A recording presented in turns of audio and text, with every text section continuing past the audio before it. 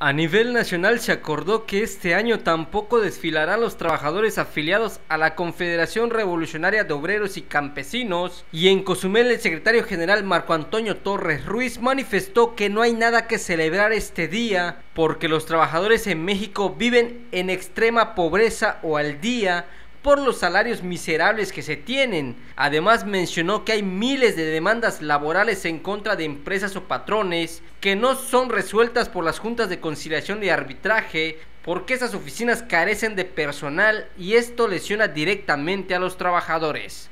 Este año ni los que vienen vamos a, desfilar el día primero de mayo, porque la creo que a nivel nacional tomó el acuerdo que no se participaría más en ningún desfile.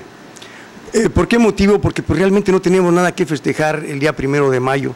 No es una fiesta de los trabajadores, porque los trabajadores eh, por el momento estamos hundidos, sí, con salarios ínfimos, ya no digo mínimos, ínfimos, miserables. Sí, eh, ganamos tres veces menos que un trabajador chileno y de, igual dos veces menos que un trabajador argentino, y de ahí fue donde tomaron como base de Argentina y de Chile para hacer las reformas a la Ley Federal del Trabajo. Para Promovisión, Jorge Cupul, imágenes, Fernando Mis.